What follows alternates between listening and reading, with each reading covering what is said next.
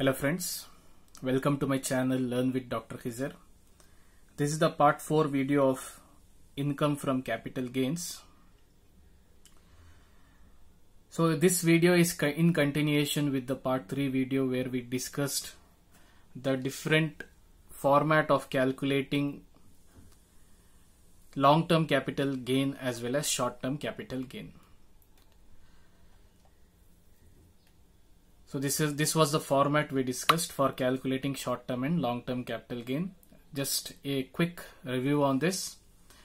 Short term capital gain gross sale consideration minus realization expense you will get net sale consideration minus cost of acquisition minus cost of improvement you will get gross capital gain minus exemptions you will get net capital gain similar way for long term capital gain gross capital so is uh, gross sale consideration minus realization expense minus uh, you will get a net sale consideration.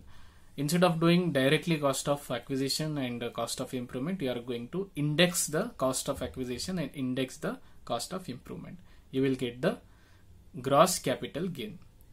Then you will minus the exemption and as usual you will get the final answer long term taxable capital gain. Okay. In detail we discussed even the various aspects what is gross sale consideration realization expense and all other stuff. So now because here the similarities are common. Gross sale consideration is common in both realization is common. Okay? So now uh, uh, we will discuss what is the difference between cost of acquisition and index cost of acquisition. Here is the things what you have to remember when you calculate cost of acquisition as you know that cost of acquisition is applicable when there is short term capital assets okay? So what is cost of acquisition? It is the value at which the asset is acquired. As we discussed already it is a purchase value. Now there are few circumstances which you have to keep in mind okay? If the cost of acquisition is before 1st april 2001 okay? You remember this date if the cost of acquisition is before 1st april 2001 means that you have acquired the asset before 1st april 2001 in that case how to compute? Okay what is the provision? Okay that you have to remember. Cost of acquisition to be computed with sorry cost of acquisition to be compared with fair market value. Okay what is this fair market value? Fair market value is the actual value going on as on 1st april 2001 in the market. Okay the market value of that particular asset is called as fair market value. Okay so in case it if the cost of acquisition is given before 1st april 2001 in that case you are not going to directly write the cost of acquisition but instead you are going to compare that cost of acquisition with the fair market value of 1st april 2001 in this comparison whichever is highest that you are going to take as cost of acquisition.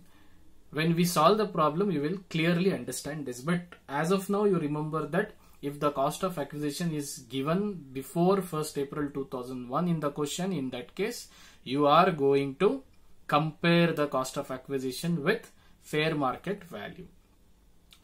Then the second thing what you have to remember is if the cost of acquisition is given after 1st April 2001 directly you can take cost of acquisition. Whatever the value they have given that value you can get directly in case if uh, the cost of acquisition is given uh, that is after 1st April 2001 before 1st April you are going to compare with fair market value. After 2001 if it is given you are going to directly write the value of cost of acquisition itself. Then if it is acquired after 1st April 2001 but it is an gift or will okay? It is not a sale or it is not a that is um, a monetary uh, transaction in that case.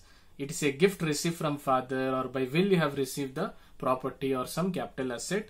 But the transfer has happened or the acquisition has happened after 1st april 2001 in that case cost of previous owner to be considered because here the monetary value will not be given. In that case what you have to do is you have to uh, that is uh, take the value of the previous owner. This adjustment also we are going to see okay in the problems.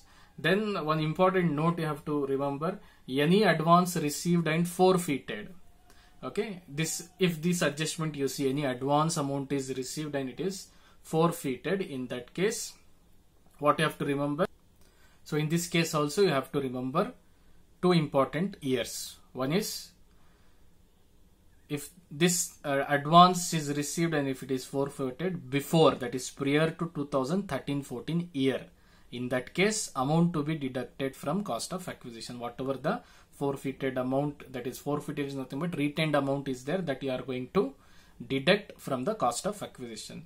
If it is uh, that is uh, if this transaction happens that is you have received the advance and you have forfeited after 2014 15 in that case no deductions will be done with the cost of acquisition but taxed under other sources. Okay? So these things you have to remember okay? Anyways in problem when uh, that is these adjustments are there i will teach you in depth but you remember these are the adjustments okay? Importantly with cost of acquisition before 1st april 2001 after 1st april 2001 before comparison need to be done after no comparison directly value to be written. Now coming to indexed cost of acquisition. Indexed cost of acquisition you have to remember again few things okay? There is a formula for calculating indexing. So index cost of acquisition as you know it will come under long term capital gain right so indexed cost of acquisition will come under long term capital gain. So in this case the value of the asset which is acquired after indexing after you do the indexing if that uh, value you are going to generate that is called as indexed cost of acquisition. So here it is applicable only on long term capital assets not on short term capital assets. So if index cost of acquisition that is if the cost of acquisition is before sorry after 1st april 2001 this formula you are going to apply. If it is before 1st april 2001 this formula you are going to apply. Same thing what we have learned there. That is indexed cost of acquisition equals cost of acquisition. That is the value for which you purchased. Divided by cost inflation index of the previous purchase year of the asset. So when you have purchased the asset okay that year's cost inflation index. We will see what is cost inflation index. So let me just go through. See this is the cost inflation index. So from the uh, income tax department they have given some values. Okay how much inflation has happened. That is cost inflation index. So they have indexed the value of uh, that is cost of inflation. So this number you have to consider and you are going to apply here. Okay uh, that is cost inflation index of the year of purchase of asset multiplied by cost inflation index of the year of transfer. Always we consider the asset should be transferred in our previous year. Okay? Uh, then before 1st april 2001 if the uh, cost of acquisition is given in that case this formula you are going to apply. That is cost of acquisition divided by cost inflation index of fair market value as on 1st April 2001 because there is no cost inflation index before 2001 April 2001 if you see this chart. So it starts from 2001 2002 100 this is the base cost 100% right? So 2001 2002 onwards the cost of inflation index is given. So before this if cost of acquisition is given we cannot do indexing. So that's the reason we have to take the base year cost. That is the base year cost is 100 that is the in the year 2001 2 so that's the reason this uh, first april 2001 is very important. Okay? For the previous year 2018-19 we are solving the problems for previous year 2018-19 so for this the cost inflation index is starting from 2001 2 okay? Few years back the cost inflation index was starting from 1991 onwards. So now it is changed to 2001 so uh, income tax we are uh, that is amendments will be taking place. So uh, here if the cost of acquisition is after 2001 there is no need of comparing directly which year you have purchased the asset. That cost inflation index you can write. But here before 2001 if the asset is purchased because there is no cost inflation index so you need to write the cost inflation index of fair market value. Always the fair market value year will be 2001 right then indexed cost of improvement. So this index cost of improvement also comes in long term capital gain okay? So indexed cost of improvement is the value spent on additions improvement modification of asset okay? So here for this additional uh, that is uh, alterations or investments or expenses or cost you are going to do the indexing that is called as indexed cost of improvement. One second i will tell you indexing is nothing but you are going to adjust that cost with the inflation cost.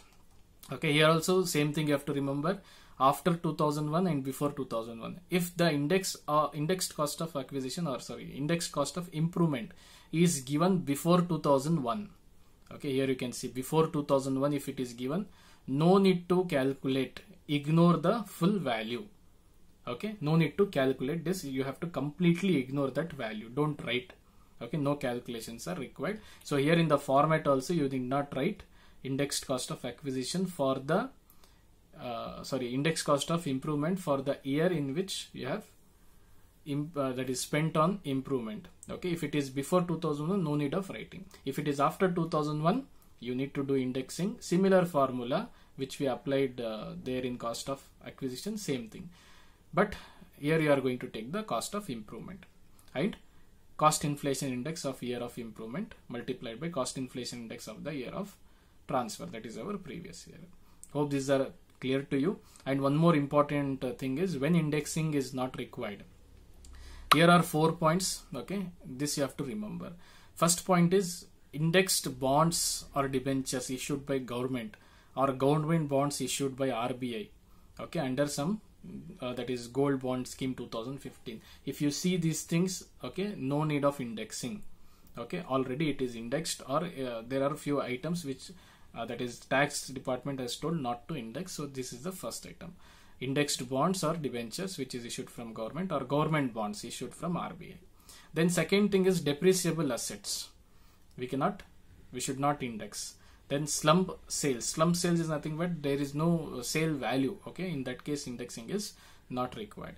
Then third is shares or debentures in an indian company by non-resident in foreign currency. If any non-resident is uh, that is um, selling the uh, that is shares or debentures in an indian company in that case also if it is a foreign currency then you will not index. Then fourth is uh, units of uh, that is units or uh, GDR global depository receipts or securities given in uh, these sections. See this is not so important um, uh, because uh, majority of adjustments will not be given. One or two will be there and um, okay. Just remember these four points. This four points there is no indexing okay. So this is the cost inflation index table okay. Usually they give in the question so always uh, it will start from 2001 okay because we are solving problems on 2018 19 previous year. And uh, the previous year's uh, cost inflation index is 280 always okay. That is for 2018 19 previous year you can see in the last year right? Hope you have understood uh, the concepts of uh, cost inflation index right? In the next class we will see the exemptions and then we will start with the See, exemptions are also important. Uh, I think in detail I will uh, not do each and every exemption. Okay, whenever we uh, receive the problems, okay, we are going to just roughly see the exemptions. Okay, because uh, it will confuse you people. Okay, anyways, for this video, I think uh, it is uh, done. and if you have any doubts, comment section. Same thing you have to type. What is your question? Okay, I am going to reply there or uh, try to make one uh, new video to solve your uh, that is um, a requirement. And one more thing is if you have not subscribed subscribe to the channel. You will get more videos if you press the bell icon also.